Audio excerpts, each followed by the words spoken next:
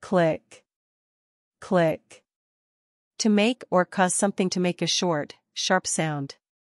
To choose a particular function or item on a computer screen, etc., by pressing one of the buttons on a mouse. To become friends with someone at once, to become popular with someone.